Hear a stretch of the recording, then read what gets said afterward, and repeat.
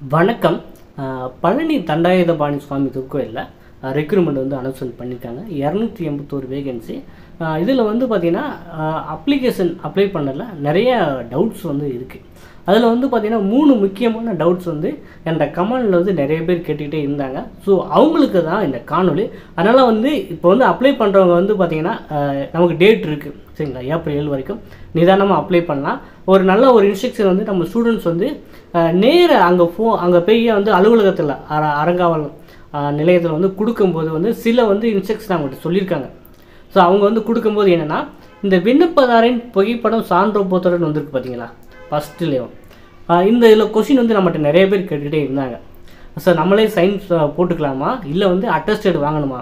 இப்போ வந்து பார்த்தீங்கன்னா அவங்க சொல்லியிருந்தாங்க எல்லா ஜெராக்ஸ் காப்பி நம்ம எது எது சப்பி வச்சு அனுப்புகிறோமோ அதெல்லாம் அட்டஸ்டட் ஜெராக்ஸ் காப்பின்னு போட்டிருக்காங்க. அப்போ வந்து இந்த ஃபோட்டோலையும் எந்த கெஜெட்டட் ஆஃபீஸர் வாங்குறோமோ அதில் வந்து அவரோட சைன் இந்த ஃபோட்டோவில் சைனில் அது என்னென்னா இந்த ஃபோட்டோ இருக்குது பார்த்தீங்களா ஃபோட்டோலையும் பாதி சைன் மேலேயும் பாதி சைன் கீழே இருக்கிற மாதிரி சீல் வச்சு நீங்கள் தானா அப்படிங்கிறது இதுலேயும் அட்டஸ்டடி வாங்கியிருக்கணும். ஃபஸ்ட்டு சரிங்களா? இது வந்து ஃபஸ்ட்டு இல்லை ஃபஸ்ட்டு தெரிஞ்சுக்கிற மஸ்ட்டாக வந்து நம்ம பண்ண வேண்டிய ஒன்று சரிங்களா? ஸோ ஏற்கனவே நான் வந்து தவறுதலாக அனுப்பிச்சிட்டேன். நான் என்ன பண்ணுறது அப்படின்னா நீங்கள் டிஎன்ஹெச்ஆர்சி பழனி ரெக்ரூட்மெண்ட்டில் அவங்க வந்து வெப்சைட் நம்பர் கொடுத்து காண்டாக்ட் நம்பர் அங்கே ஃபோன் பண்ணி என்னென்னு கேட்டுக்கோங்க. இன்னொரு அப்ளிகேஷன் போடணுமா? இல்லை அதை வந்து அசஸ் பண்ணிக்கிங்களா அப்படிங்கிறது ஏற்கனவே அப்ளை பண்ணாங்க கேட்டுக்கோங்க.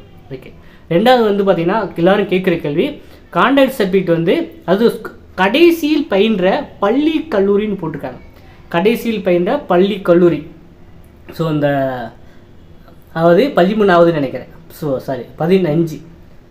ஸோ நன்னடத்தை சான்று அது நன்னடத்தை சான்று இறுதியாக பயின்ற பள்ளி கல்லூரி. ஸோ ஒரு சில பேர் தப்பாக புரிஞ்சுக்கிறாங்க. இறுதியாக பயின்ற பள்ளி கல்லூரினா ரெண்டு இடத்துலையும் போய் வாங்கணுமா அப்படின்னு நினச்சிக்கிருக்காங்க. ஸோ ஒரு சிலர் டென்த்து ஸ்டாண்டர்ட் தான் முடிச்சிருப்பாங்க. அவங்க வந்து என்ன? அவங்க பள்ளிக்கூடத்தில் மட்டும் தான் வாங்க முடியும். ஒரு சிலர் டுவெல்த் ஸ்டாண்டர்ட் முடிச்சிருக்காங்க அவங்களும் பள்ளிக்கூடத்தில் தான் மட்டும் தான் வாங்க முடியும். ஒரு சிலர் டிகிரி முடித்தாங்கன்னா ஸ்கூல்லேயும் வாங்கணும் காலேஜில் வாங்கணுமா அப்படின்னு காமன் டவுட் கேட்குறீங்க இறுதியாக பயின்றதான் போட்டிருக்காங்க. சரிங்களா? அதனால் வந்து கடைசியாக நீங்கள் என்ன படிச்சிருக்கீங்க? இப்போ டிகிரி படிச்சுன்னா காலேஜில் வாங்கினா போதுமானது. அது வந்து பார்த்தீங்கன்னா அது வந்து நகல் தான் போட்டிருக்காங்க. அதாவது ஜெராக்ஸ் காப்பி தான் போட்டிருக்காங்க. ஒரிஜினல் அனுப்ப வேண்டாம். ஸோ இந்த கான்டாக்ட் சர்டிஃபிகேட் வாங்கி அனுப்பணும். சப்போஸ் வந்து கான்டாக்ட் சர்டிஃபிகேட் இல்லை அப்படின்னா டிசியில் கான்டாக்ட் அந்த குட்டுன்னு போட்டிருப்பாங்க. ஸோ அந்த கான்டாக்ட் போட்டு அது ஓகே அப்படின்னு அதுவும் சொல்லியிருக்காங்க. சரிங்களா? ஸோ கான்டாக்ட் சர்டிஃபிகேட் வாங்க முடியாதவங்க காலேஜில் மு கடைசியாக டிகிரி என்ன முடிச்சிருக்கீங்க? நீ காலேஜ்னா அந்த காலேஜ் டிசியில் வந்து கான்டாக்ட் குட்டுன்னு போட்டிருந்தா ஓகே அந்த சர்டிஃபிகேட்டையும் நீங்கள் அனுப்பலாம். நீங்கள் கடைசி நான் டுவெல்த் தான் முடிச்சிருக்கேங்க. ஸோ உங்கள் டிசியில் வந்து கான்டாக்ட் குட்டுன்னு போட்டிருக்கா அதுவே சர்டிஃபிகேட்டாக நீங்கள் அனுப்பலாம். சரிங்களா? ஸோ நான் நான் வந்து பார்த்தீங்கன்னா டிப்ளமோ தான் முடிச்சிருக்கேன். அதில் வந்து பார்த்தீங்கன்னா டிசியில் வந்து கான்டாக்ட் வந்து கொடுத்துருக்காங்களா? ஸோ அது ஓகேங்க அதனால் வந்து பதினஞ்சாவதுக்கு வந்து ஜெராக்ஸ் காப்பி அட்டஸ்டட் வாங்கி அனுப்பணும். பதினஞ்சு இருக்குது பார்த்தீங்களா சாரி ப பதினாலுக்கு. அரசிதழ் பதிவு பெற்ற அதிகாரிடமிருந்து மூணு மூணு ரெண்டாயிரத்தி இருபத்தி பின்னர் பெறப்பட்ட நன்னடத்தை சான்று இணைக்கப்பட வேண்டும்.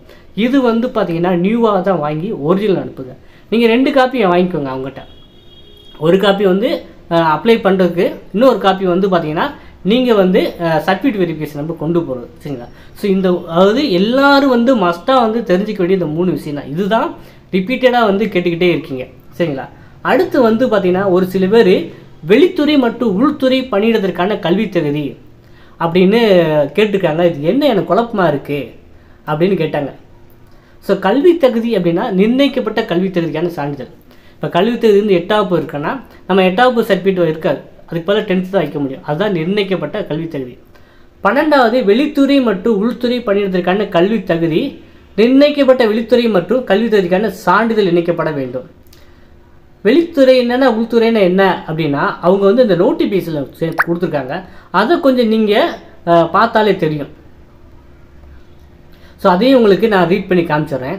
ஸோ இது வந்து உள்துறை காலி பணியிடங்கள். நாதஸ்வரம் தவில் தாளம் இதெல்லாம் வந்து உள்துறை பணியிடங்கள். ஸோ அதுக்கான சர்டிஃபிகேட் என்ன குவாலிஃபிகேஷன் அது இணைச்சிருக்கணும்.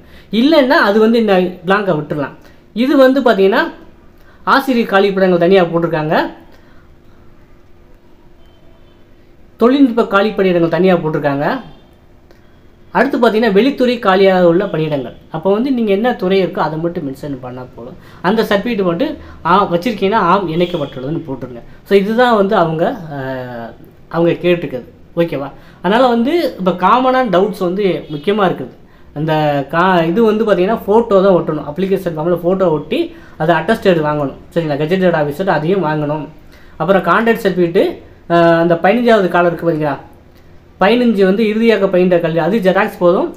கான்டாக்ட் சர்டிஃபிகேட் தனியாக இருந்தால் ஓகே இல்லாட்டி வந்து டிசிலேயே இருந்தாலும் ஓகே தான். அதுவும் அட்டஸ்டட் ஜெராக்ஸ் வாங்கணும். பதினாலுக்கு வந்து ஒரிஜினல் தான் அனுப்பணும். சரிங்களா? பதினாலுக்கு. ஏன்னா வந்து நீங்கள் எத்தனை காப்பி வேணால் நீங்கள் வாங்கிக்கலாம். இப்போ நீங்கள் வந்து ஒரு காப்பி இப்போ வாங்கியிருக்கீங்க. ஸோ இன்னொரு காப்பி வந்து இன்டர்வியூ போகும்போதுனா இன்னொரு காப்பி வாங்கிக்கலாம். சரிங்களா? இந்த இப்போ வந்து புதுசாக தான் வாங்கியிருக்கணும். மூணு மூணு ரெண்டாயிரத்தி இருபத்தி ஒன்றுக்கு அப்புறம் பேரப்பட்ட சான்றிதழ் வாங்கணும். ஸோ இதுதான் காமனாக எல்லாருக்கும் தெரிஞ்சுக்கொள்ள வேண்டிய டவுட்ஸு கிளியர் பண்ணி இப்போ ப்ராப்பராக வந்து நீங்கள் அப்ளை பண்ணலாம். ஏற்கனவே வந்து போஸ்டல் எப்படி அனுப்பணும் எப்படி அப்ளிகேஷன் ஃபார்ம் ஃபில் பண்ணுறோங்கிறத நிறைய வீடியோஸ் பண்ணியிருக்கோம். Application form PDF contact certificate PDF notification ஃபுல்லாக நான் படித்து பார்க்கணும். அதோட பிடிஎஃப் எல்லாமே ஒவ்வொரு வீடியோ கீழேயுமே நான் டிஸ்கிரிப்ஷனில் கொடுத்துருக்கேன்.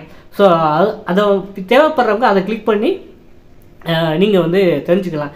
இல்லை எனக்கு நீங்கள் சொல்கிறதெல்லாம் வேண்டாம். நான் டேரெக்டாக அங்கேயே ஃபோன் பண்ணி கேட்டுக்கிறதாலும் டிஎன்ஹெச்ஆர்சி பழனி வெப்சைட் வந்து லிங்க் கொடுத்துருக்கேன். அதில் காண்டாக்ட் இருக்கும். அங்கேயே நீங்கள் ஃபோன் பண்ணி கேட்டு கூட கன்ஃபார்ம் பண்ணிட்டு கூட நீங்களும் அது அப்ளை பண்ணலாம். சரிங்களா?